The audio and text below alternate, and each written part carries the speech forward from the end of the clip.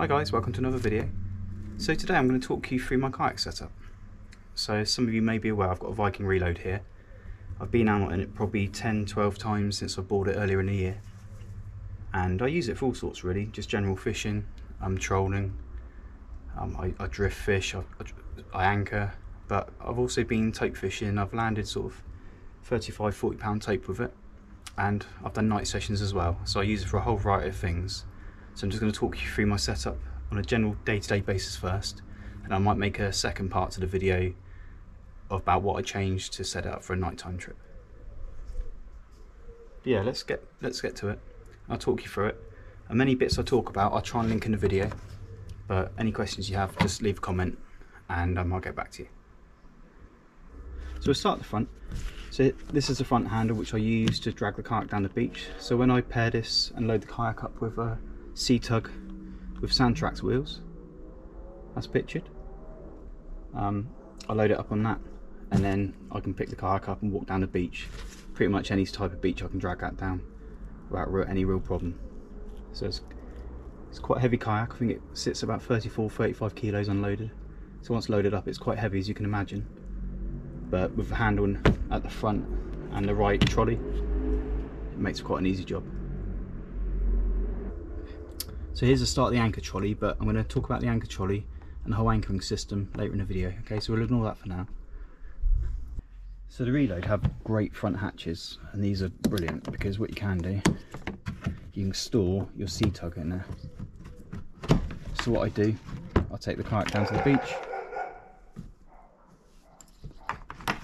and then when I'm down there, the C-Tug dismantles and you can fit the whole lot including the wheels in here, no problem.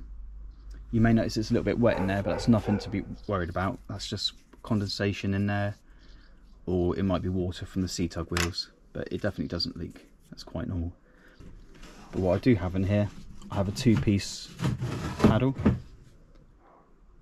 that's just a spare. So if my one did fall in the sea which you never should do because it's leashed um, there's a spare here. You've just got to try and get it out and connect it.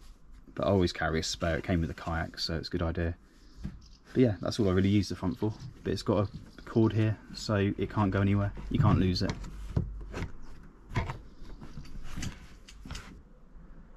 Right so here's the tackle pod. Um, I used to have a Viking Profish 400 which is a great kayak but one thing it did lack was a decent tackle pod in the middle. So unfortunately the Viking warehouse burnt down earlier in the year which obviously led them to stop making bits for it and uh, the tackle pod for the 400 became pretty much extinct so actually when this reload came up on the marketplace, I jumped on it and the main reason I bought it was this tackle pod. So before I show you what's inside, I'm going to show you the setup at the front. So I'll start with the electronics first. So on my right, I've got my GoPro. It's not actually the GoPro I normally use, this is GoPro 5, but I'm using the GoPro 10 to re record at the moment. But yeah, so that GoPro is recording most of my footage. And occasionally I'll turn it around and record footage from the front. If you've seen any of my kayak videos, you'll see I do quite a lot of filler shots looking down the nose of the kayak. Um, that's just the same one and I just spin it around on the pole there. I've, this one's got a case and a, a, charging cable that allows me to charge it through all weathers. So it's not waterproof but it's definitely rain resistant and it's splash proof. Which I can show you about the GoPro setups I've got later on actually with the weatherproofing. And with my GoPro 10 I've got a charging door in it which allows me to plug it in permanently. And what I've got over here is a wind reducer. So this is just a bit of sponge that goes over the top of the GoPro and that stops wind noise when I'm talking into a microphone. They do a great job to be fair and I think they're sort of 10 15 pound from Amazon. So you can see the charging cable goes into my tackle pod and I'll show you how I charge them in a minute. So here I've got my fish finder. Can't remember the exact model, I didn't buy it, it came with the kayak, but I will link it in the comments below to find the paperwork. But yeah, this is um a great bit of kit to be honest. And before I used to only use it to find my depth, and that was it really. But now as I progress and I get more experience, I now use it to go and find shoals of fish. So most trips I do out, I'll, I'll anchor three or four times now. Um, as soon as the fishing goes quiet, the anchor comes up and I move on to somewhere else. And I use the fish finder to find structure at the bottom or any shoals of fish that I can see going past. And in conjunction that, I'll have my phone and at the moment it's showing you it's got Navionics which is basically the GPS it's an app on your phone which is pretty much invaluable to me. And there I can look for reefs and wrecks and other kind of landmarks. And then I know where to head to and where to anchor. And I use that in conjunction with the fish finder to try and find out good spots. Also the reason I have that phone in that position is if I want to do live streams for the channel it's pretty much set up to go there. And as you can see I've got a power lead coming out of my phone into my tackle pod so power's never a problem now. And that's pretty much it. Doesn't really change. For nighttime setups it does change a little bit. And that's pretty much the only thing that does change is the actual electronics. And I'll put lights on, but I'll show you in, in the part two of the video. Um, here I've just got another GoPro adapter. So, I mean, I do have two GoPros. Sometimes I have one facing forward and one facing me, so I don't have to swap them around. Or quite often that's where I put one of my lights. So I'll just leave that adapter on it for now. So right, now for inside my tackle pod. I'm going to try and show you this. It's a little bit awkward because I've got the camera under my chin. But yeah. Right, so first, got my rig wallet. So I've got all sorts of rigs there. Generally pulley pennel rigs. I've got tope rigs in there. Um, bream rigs. I'll make, I'll make a few speciality rigs up for things like gilt heads, and there's a Stingray rig there as well. Basically a good assortment there. But I'll talk you through the rigs that I use a bit later when I look at the rods. So, in here, I have things like float setups. Keep them separate to stop entangling. Let's put the lid back on how much you can see here, but here I've just got a lunchbox. I can't take it out because it's, it's, wedged in there. I've got it in there, but I can't get it back out. But so things like, I'll have things like a knife. I have a priest for the occasional times I do take a fish home. Um, forceps, T-bar, probably all the most used tools I've got. Things like, you know, bait elastic, a bait mate. On the kayak I'm forever using quite big baits, so these are invaluable for me. Oh, sorry, there's a nice camera. Um, we do see here a few spare cable ties, and this is for the trip on the anchor. But I can show you that when I look at the anchor later. It's always good to have a few spare. Some carabiners there, another bait bar, bait needle, and scissors. That's generally it, really. Just bits like that. I do carry a small little box, different size hooks, glow beads, normal beads and um, quick links clips.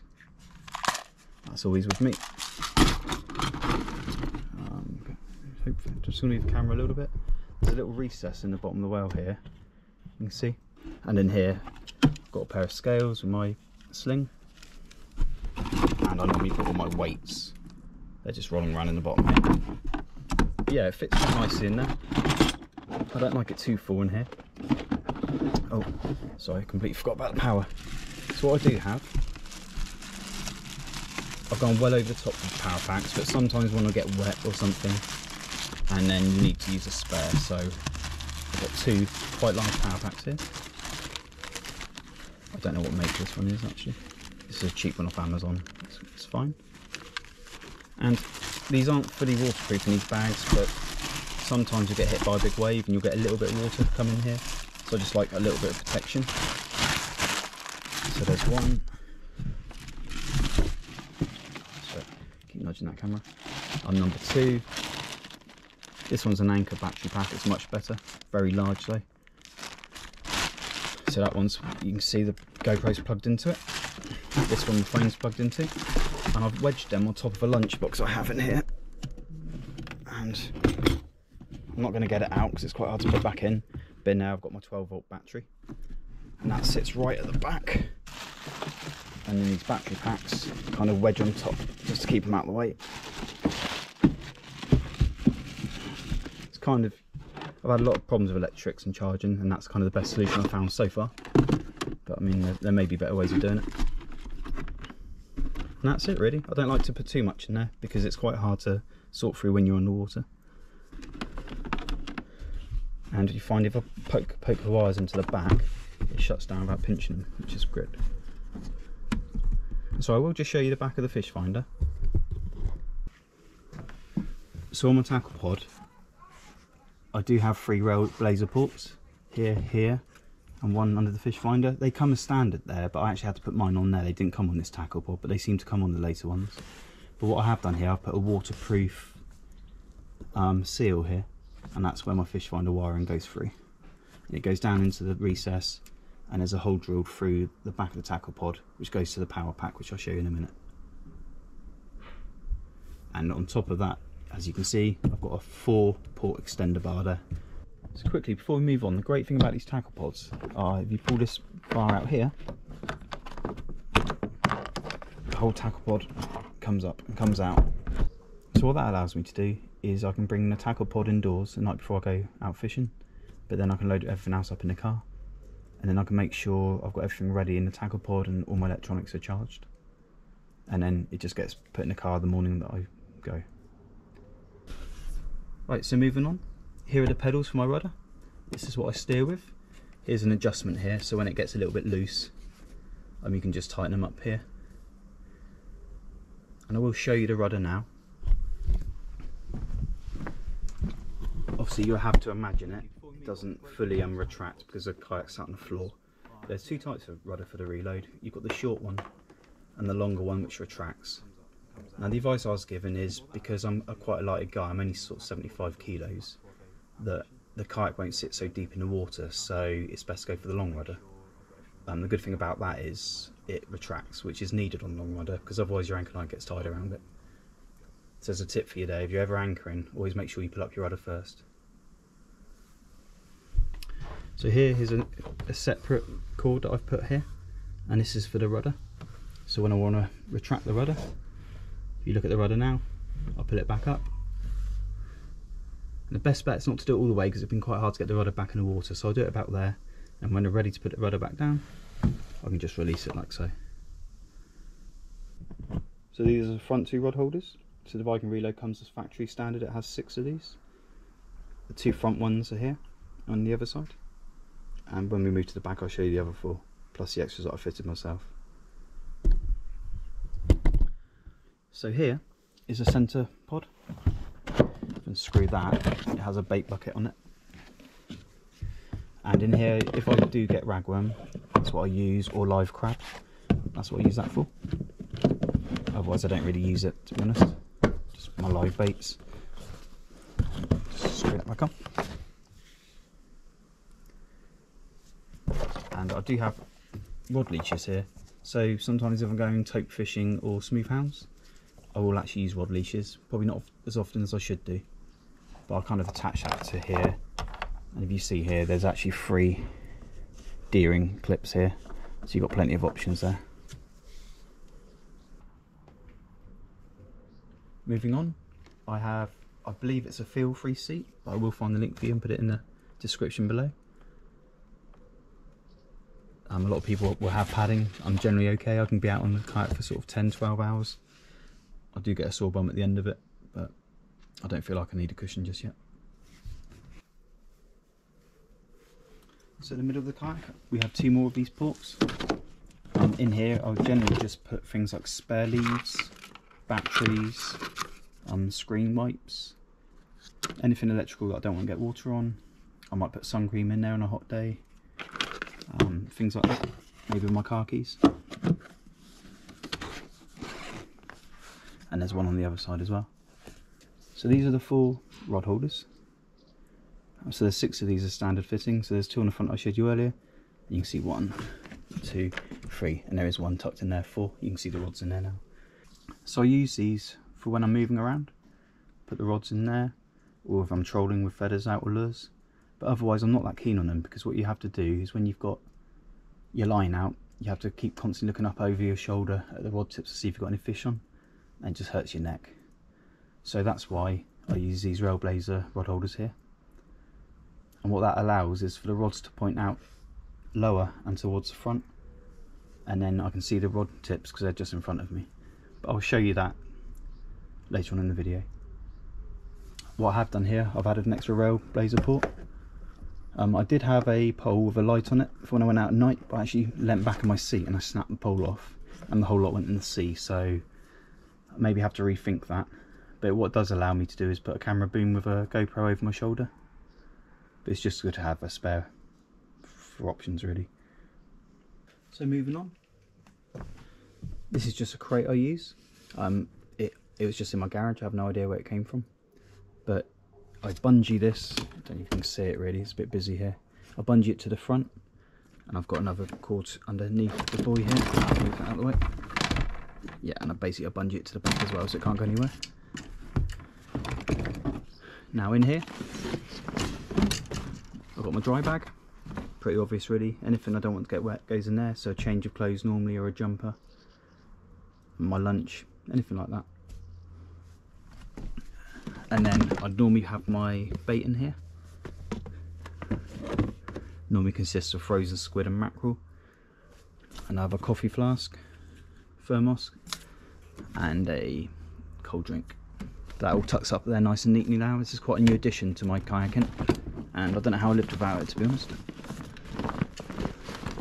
There's still plenty of room in there for anything else you want.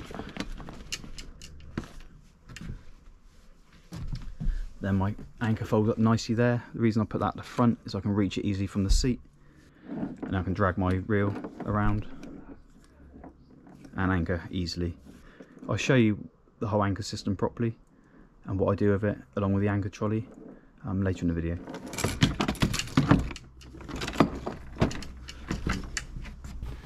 Rear of the kayak, I've got my flagpole here. You can't really see because there's no wind, but I've got skull and crossbones I've always had from the start. My Railblaza orange flag for safety. I'm just going to move to the other side. So here, I have a keep net. So any catch that I do want to take home, I'll put in here and then I'll throw it overboard and that'll keep it nice and cool. Okay, just a couple things to make sure though when you use these. One, make sure there's no sharks and seals around because they will be attracted to it obviously. But also if you're going to paddle move around, you want to make sure you bring this back up because it causes quite a lot of drag. Tucks in there. So here I'll have my landing net.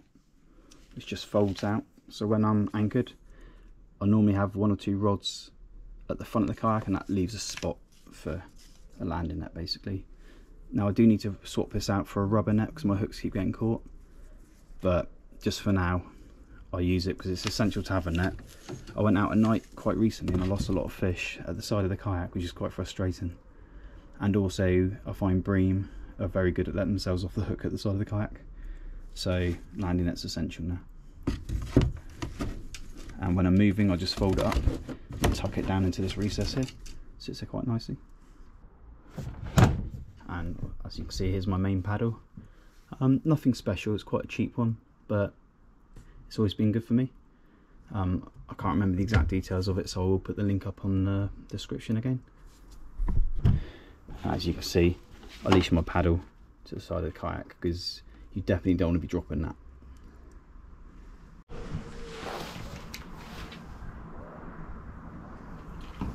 I'm going to show you the different components of my anchor trolley now. So here I have a bungee to put a bit of flex in the system on a pulley. And I have a length of cord. I believe these are YakAttack clips, which I really like because they really neaten the, the anchor trolley up.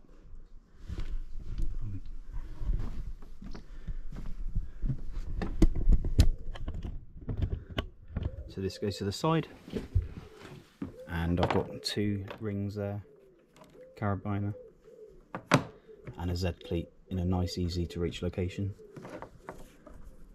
So the, why I've set this up like this, if I ever got stuck and I needed to be towed, I can undo the clip and the big beads at the front allow the trolley to be taken to the front or the back and the clip.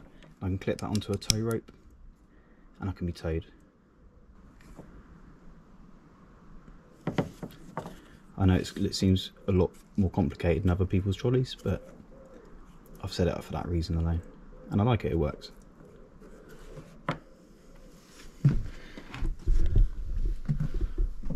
And then moving around to the back, we have these rather swish um, YakAttack pulleys, which I really like actually. They really neaten it up. Just come around to the other side of the car, I could just show you. It's actually got all the pulleys for a second anchor trolley and all the clips. Now the idea with this was from the previous owner is you'll have one on one side for anchoring and one on the other side for a drogue. But I just found it's too many cords and I wasn't using it, so I've taken the trolley off, but I've left all the fittings in case I wanted to put it back on Monday. So I've shown you the anchor trolley system, but now I'm just going to show you the way I've set my anchor up. So I've got a two and a half kilo um, claw anchor there, and on it I've, I'm running currently with one meter of chain. So where I anchor a lot is in the Solent, and the tidal pool is quite strong through there, and you're generally anchoring into mud. So this is just it's just work. So I used to have two meters of chain, but I found it too heavy to pull back up. So yeah, a two and a half kilo anchor with one meter of chain. So I have the anchor clipped at the front. But on here is a quick release system here, which I'm sure you've seen before. The idea of that is I've got a small cable tie there. Um, if the anchor gets stuck, you yank it, it break the cable tie, and then you actually pull the anchor up from the front, which will release it so you can pull it up. Now that's only ever broke on me once in a solid year of kayaking, probably about 30 trips now. But I always carry a few spares I showed you earlier in the video.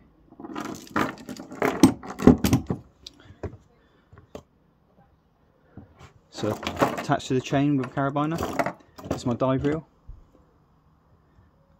Um, I'll link everything in the description. So basically all the things like this I got off of Cornwall Canoes. Um, the anchor I got somewhere online, I can't remember where. But yeah, so we've got a decent, good quality dive reel here with decent line. And then I don't really use it, but this is floating rope. And I've tied it to a floating buoy. Now the idea is, if a ship's coming or you need to get out of the way quickly, you can release your anchor, throw it all in the sea, get yourself to safety, and then at a safer time you can come back and retrieve it because you'll see the buoy floating in the water. Now I don't really use a quick release system like that, but again I'm confident that in a bad situation I can drag my anchor trolley to the side and I can quick release the whole system probably in 10-15 seconds so I'm confident with the way that I anchor but it's not to say it's the best way or the only way. Okay, right now, so what I'm going to try and do, I'm going to try and show you the process of anchoring, but I will release another video showing it while I'm out to sea. Um, so I found my spot and I want to anchor. I make sure the carabiner is in the middle. And then what I normally do, I'll just move a rod out the way. I'll just put it there so then I can reach my anchor.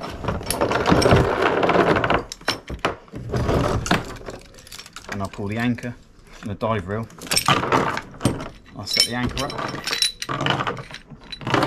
And that goes on my tackle pod. Ready? So what I do then is with the slack line, I clip it through the carabiner there. Hopefully you can see this okay. and I'll get my anchor and I'll just dangle it in the water and hold it by the chain and I'll make sure everything's tangle free I'll drop the anchor I'll release it now. and that will keep going and when I feel the anchor hit the floor I will keep my finger on the reel and move the anchor trolley back of the kayak and I'll still have my finger off because I'm letting out slack now, the general rule of thumb is whatever um, depth of water you're in, you want to times it by three and let out roughly that amount of slack. Which is, you know, I've just done it enough times, I can just gauge it now. But at this point, I'll be locking off my anchor trolley in the Z cleat. And I'm still letting out slack. It's hard to show you because I'm on the decking. Letting out slack. And then I'll feel the anchor pull at this point and it normally swing my kayak around. And then when I'm happy the anchor's gripped, I personally, I clip my anchor reel onto one of the side D-clips. So I don't, I haven't used a quick release system. I'm confident enough that I can sort myself out in seconds, but that's after experience. I know a lot of people, they'll put the whole system, they'll tie this bit to the Z cleat, so that way they can release the whole anchor system and throw it out, and if they need to get away. But I'm confident enough that I can sort myself out and if not I'll show you my vest later I've got a quick release knife that I can just cut it if I need to But I've never had to so obviously in reverse now I want to um, retrieve anchor that's what I normally do sorry it's a bit fiddly I'll unclip the anchor reel put that on my lap now I'll haul the anchor up and what I do instead of it creating a tangled mess on my lap, I throw it overboard the other side, and the tide will take that, and it generally keeps it tangle free, generally. And then I'm going to haul my anchor all the way up, and then when I feel that chain hit the carabiner, it won't go anymore. That's when I release my anchor trolley. And I pull on the cord.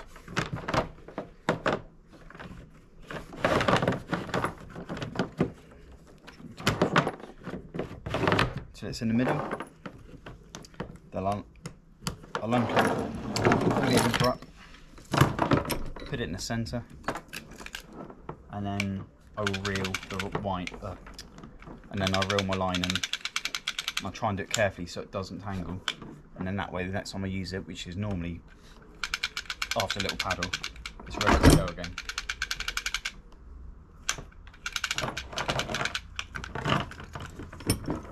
So then, put my anchor back here, reach around, put the reel in, and then I'm ready to paddle off safely. So my general setup for normal fishing is a little bit different if I'm going out at night time or if I'm tope fishing really. But here's my general setup. So on the far left,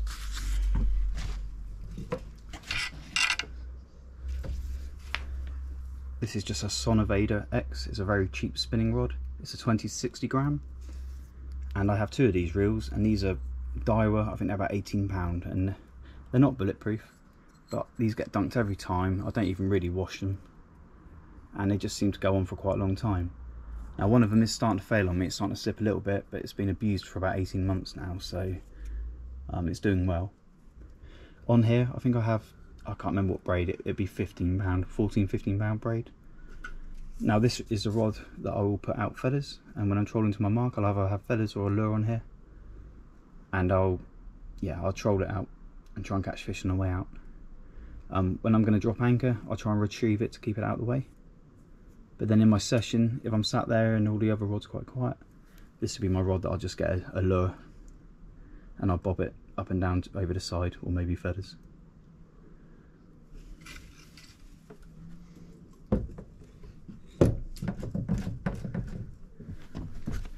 So these next two, my two main rods, they're both Shimano boat rods they are 12 to 20 pound and these are what I always put my big baits out on. I generally put two big baits out on every session and they will go into these rod holders here which I'll show you in a minute. On here I have a Penn Fathom 2 on 20 and that's my main reel. That's the one that deals with all the big stuff I find. Invariably I catch them on this rod annoyingly. This is a Shimano TR200. Um, not massively impressed with it to be honest, but my recent tope session, this handled all my tope, so it's obviously not a bad reel. And on here I have 50 pound braid on. Actually both these um, multipliers I have 50 pound braid on. And as you can see here I've got the clip to leash it. I've obviously been out um, smooth hound hunting or tope hunting recently. But yeah, these will stay in the middle and then the big baits will go out on these when I'm fishing properly and then my last rod I have is an Ugly Stik I believe it's a boat rod and it's a let's just have a look it's an 8 to 12 pound. So as I said this is a rod I put my scratching rig out on. So I normally put a flappy rig on here or a pop-up rig or a custom built um, bream rig. And I'll generally punt this one out as far as I can front ways and I'll put this rod in the front rod holder. But I'm just going to take you to a different view now. I'm going to sit in the car and I'll kind of show you what I do? Setting up my rods when I get to a mark. I'm just going to talk you through what I do once I've anchored up and I'm ready to sort out my rigs my rods. So what I'd normally do, I'd normally get my big weight baits out first. So like I said earlier, I've got two 12 to 20 pound rods with multipliers on. Now generally I'm fishing for things like smooth hounds or rays, um, congers, you know, big stuff on these rods. So I'd have a pulley pennel normally, or a running ledger rig, or whatever I'm using at the time. Um, I normally have these preloaded on my rod ready to go so I don't have to mess around on the water. But I will cast each one of these rods out at a kind of 90 degrees angle to the kayak. Um, and then I'll set my drag and these actually go on these side ones, so, so hopefully you can still see okay in the camera, it's a bit hard to show you. So what I can do now, I don't have to turn around to look at any rods, I can just look straight down, so I'm facing forward, and the rod tips are there. So I barely have to move my head now to see the, the big rods going. I'll do the same with the other big rod. I can't show you because the house is in the way, my deck is not big enough. And that'll go out there. So then my, my main two baits out, my big rods. Um, and then, oh, this is my Ugly Stik boat rod that I said about. It's my 8 to 12 pound rod. This will have a free hook flapper on or a pop-up rig. Um, I've built a couple of running ledger rigs with small hooks on for gilthead bream, just things like that. So this one I'll load up and this one will be cast out directly forward as far as I can get it. And then what I normally do with this one, I put it in one of my front rod holders. And then I've got all three rods that I use um, in front of me. It has to be a really boring session, but sometimes if the rods are really quiet, I might get feathers out, but then there'll be a gap. I might move this rod over. Depends where the tide's going. I see a gap and I might just cast into the gap, but it's not very often I do that. Um, so one thing, there's a lot of rods here, so if I catch something big, say if I catch something big on this rod here, I'll bring up to the side, but I don't want this rod in my way. So what I normally do, I'll pull the line over the front of the kayak and I'll just swap it the other side. That's what I normally do. Then I've got the whole of this side. I can get my landing net and I can just pull up whatever I catch on this rod and vice versa with the other side. Um, if it's a session where there's a lot of smooth hounds around, or tope especially, um, I generally just run with the two big rods.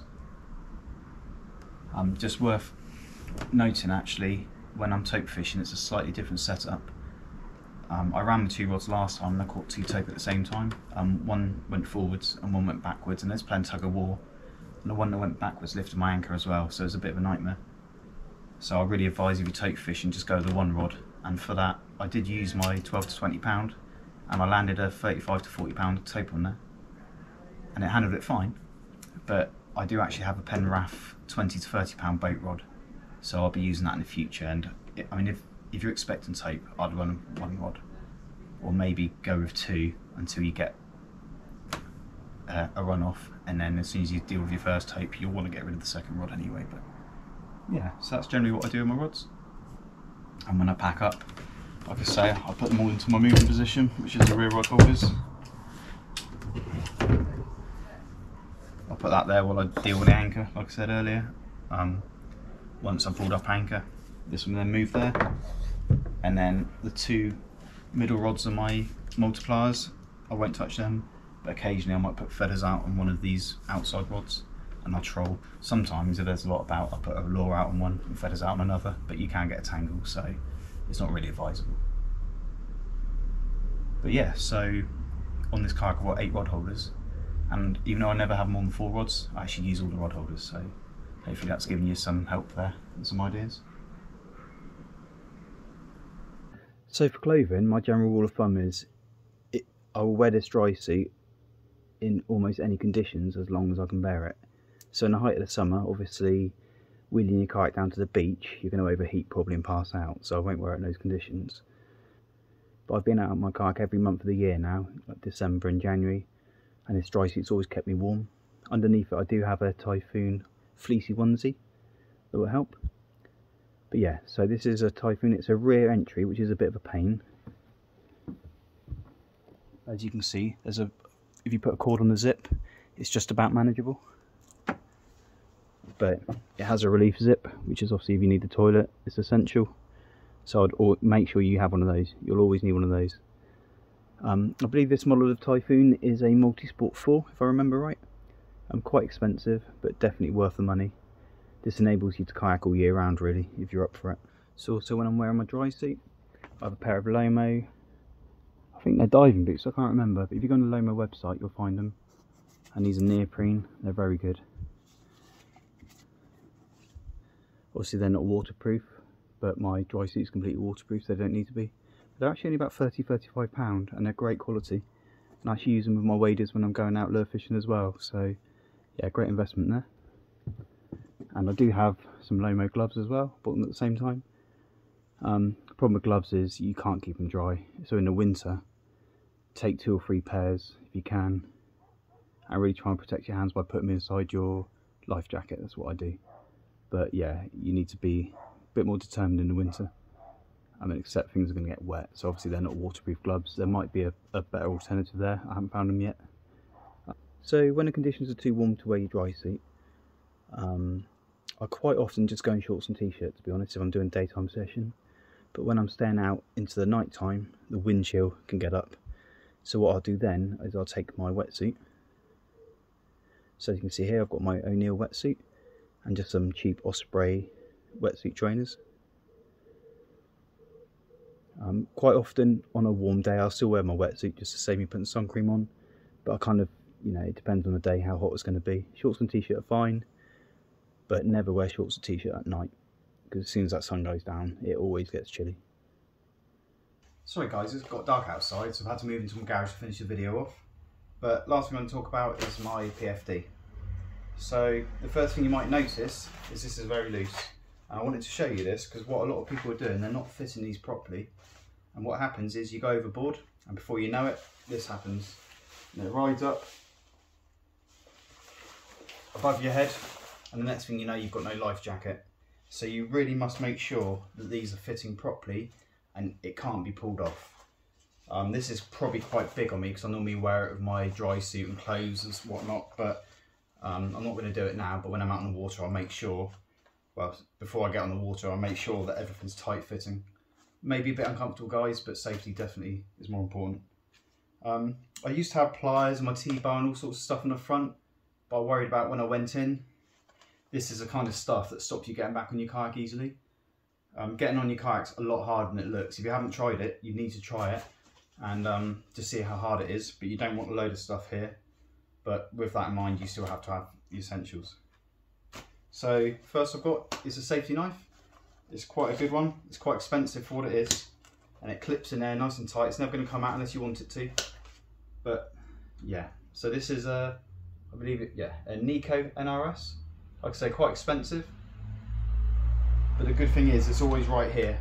So if I ever need to cut my anchor line quickly, or there's a tangle or something like that, I can just clip it out, cut it. I don't need to look through my center console and panic trying to find my other knife. So on the other side, I've got my radio. So try and get this off. So this is a Standard Horizon HX890.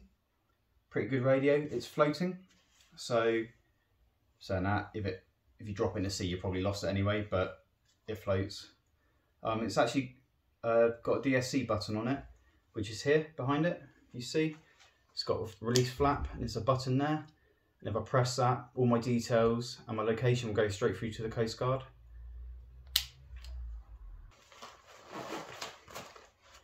So yeah, that's it. That's my life jacket. Um, I believe my pockets are empty.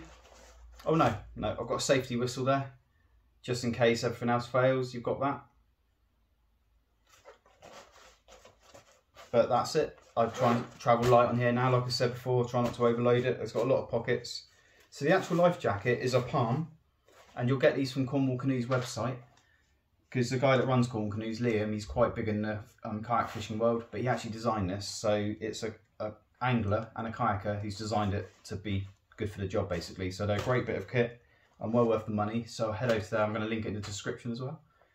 But yeah, always make sure you wear a life jacket and always make sure it's done up tight so it can't be pulled over your head. Right guys, I'm just going to talk you through my GoPro setups that I use on a kayak that I talked about in the video briefly earlier. So on the left here is my GoPro Hero 5 Black and on the right here is my GoPro Hero 10.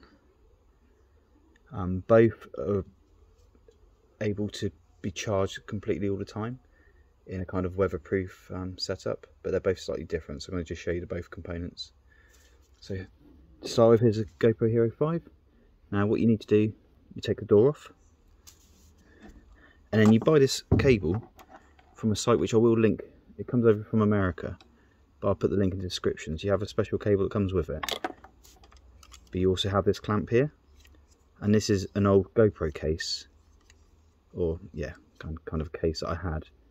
That has a door to access the charging point. So you actually get this clamp here with the cable and the kit that comes over from America, which I'll link. But that's what you do. You put this in its case as normal. And you can see that you can access a charging point. It's got this special cable here. And you put it in there. And then what you can do, you kind of clamp the lead in here. And that now makes it, I mean it's not waterproof, you couldn't dunk it in the sea. But it makes that GoPro pretty much water resistant. Um, if a wave splashes over it, you're not going to have any problems. And then this enables you, it's on quite a long lead, you can't see it here. But I went for the longest lead.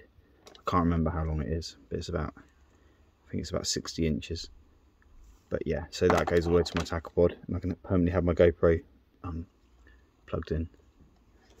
In addition to that this is the wind socks I use for them. You just get these off Amazon cheap um, and these make a massive difference. And what I have done there where the clamp sits I actually just cut bits out of the the case. So I'll show you. It might take me a little while to do this kind of feed the cable through. So I just have to do this. I'm looking at the camera, but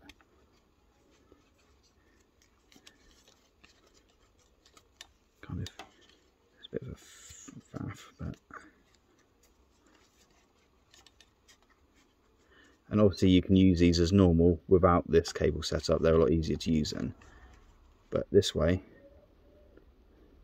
so this sponge covers all the microphones, but leaves the screen free. I'm not sure if it's got a battery in it at the moment, but anyway, doesn't matter. So now I can attach that to the kayak. I can permanently charge it through the lead, so I don't even have to ever turn it off. And it's also got um, a wind reducing on there. Uh, sorry, a wind reducing kind of case and it makes a huge difference if you don't have an external microphone. I mean, I do have an extra microphone that I do use, but I prefer not to use it on a kayak. So these kind of get me by. So that's a GoPro 5. So the GoPro Hero 10, I actually got all the components off of the GoPro website. Now the same site that did the the sort of weatherproof charging kit for the GoPro 5, they do do a 10 version, but I think it's a complete case that you put it in and it's quite expensive. But actually for the GoPro Hero 10, you get this attachment that's this door here, but it actually has access to the charging port. So obviously that makes your GoPro 10 not waterproof. If you drop it in the sea, you're going to have serious problems with it. So where they are waterproof beforehand, taking the the charging door off and putting this one on definitely makes it not waterproof. So just bear that in mind. But yeah, I think this is off the GoPro website. This door, and it's just a standard um, battery cover. And then I've just got the longest GoPro lead I can find, and that's off the GoPro website as well. Because I've paid for their monthly subscription, I get quite a lot of discount off the site now. So it's an official GoPro lead. And yeah, basically I can just plug it in. Good thing about the 10 is you can have it plugged in without a battery permanently. Um, I do get a lot of issues with it though on a warm day the GoPro overheats a lot. But you know I don't know if that's a faulty uh, sorry a faulty GoPro or not. I'm going to ring them up and see what they can do about it. But yeah and likewise I've also got a windsock here. Now I've butchered this one. I've taken the whole side of this out. And again it's just for the same thing really I'll show you. I've done it so when I put it in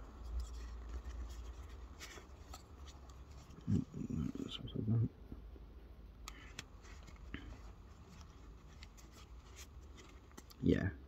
So it comes like that it's quite good but I've cut a few I've cut a slip off there so I can see the charging light.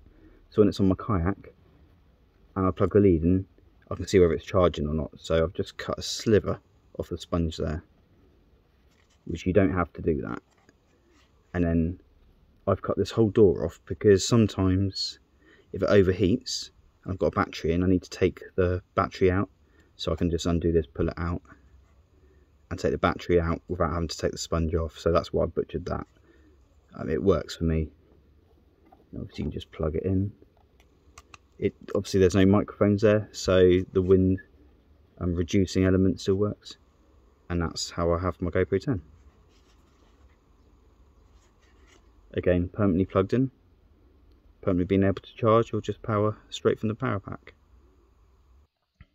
Right guys, I think that just about covers everything in this video. Um, if you'd like a better description of anything or if I've left anything out, um, or if you've got any questions you'd like answered, then please leave a comment in the comment section below. Alternatively, you can find me on Facebook under Fishaun Angling. But yeah, I've been out a few times on a kayak and I've struggled in various ways and with different various conditions and each time I try and make an adjustment to make my whole experience easier really. Um, the easier the experience, the better the day I find. But if you have any of your own suggestions to add, then please leave them in the comments below. I'm always eager to find out other ways and ways other people are doing things as well. So thanks for watching guys. I really hope there's some kayak enthusiasts out there, whether you own a Viking Reload or another Viking or any kayak really, or even planning to buy one in the future. I hope you can take something away from this video and add it to your own setup. So please like and subscribe guys if you like what you've seen today. Um, if you have any suggestions or requests for any other kayak videos for me to film, then please let me know in the comments below and I can get on and get that filmed for you. But yeah, awesome. Um, I'll see you again guys. Thanks for watching and catch you later.